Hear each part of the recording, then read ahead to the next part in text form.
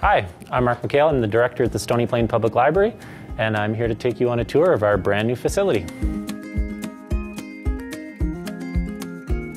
So the first thing you'll see when you uh, walk into the library is one of our friendly staff who will be able to help you at the front desk. We've got a wayfinding machine over there uh, to help you find your way around the new library, a self-checkout machine to help you check out your own books if we're too occupied. This large architectural installation. On the outside we have the logo of the Lac St. Anne Métis Association. And then on the inside, you can see the medicine wheel colors of Paul First Nation. And then on the other circle, the medicine wheel colors of Alexis Nakota Sioux First Nation. We also want formal settings for people like community associations or sports teams to hold their meetings. You can see there's ample seating. There's also a sink, coffee, tea, that sort of thing. You can book this into, into the evening past our opening hours. The curved shelving helps create these little nooks and crannies, so while you're browsing for your books, you're very likely to find a nice place to curl up and do some reading. We really wanted to pay a lot of attention to noise in the new space. Along the wall, you can see shapes that are meant to resemble the skyline of Stony Plain. They're also baffles, so they help control the sound in the space. This is a place for uh, private study, and we also have bookable rooms where you can have a space to yourself, whether that's to write an exam, catch up on homework, or just to get away from the noise of the world. So this is a flexible space with movable furniture, plenty of storage. That partition wall will allow us to open that space up. We can move the shelving in that area.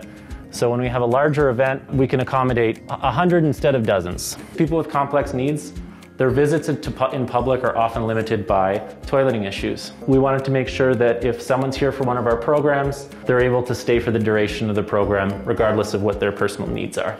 This wall's a little bare right now, but eventually uh, we're going to have a lot of different pieces of technology for people to borrow. So what you might say is the crowning jewel of our new library is our automated materials handler, or as I've been calling it, our check-in robot.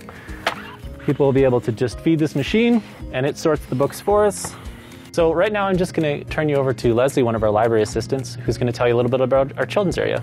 I'm just going to tell you a little bit about the train. It was our most requested thing to make sure that we included in the new library. We do have a ramp in the area so that this space is accessible to everyone. One of the features that is really important is the lower level of lighting and the little hidey hole. It's accessible for kids who maybe have autism or attention deficit. You know, so we're trying to make it as accessible as possible. So the next thing I wanted to introduce you to Dareth Hill, who's our technology coordinator, and he's going to talk a little bit about our creative space. So we have our 3D printer which is set up here and good to go. And we have two Macs that are fully set up. We also have a collection of different uh, robotics that we can do here that we use as part of our programs. When we don't have programs running, anyone can come in, use the space. So you can sit down here, you can work on video editing using the Macs, you can uh, sit here, you can collaborate with different friends while you work on school projects. The only limit here is your imagination.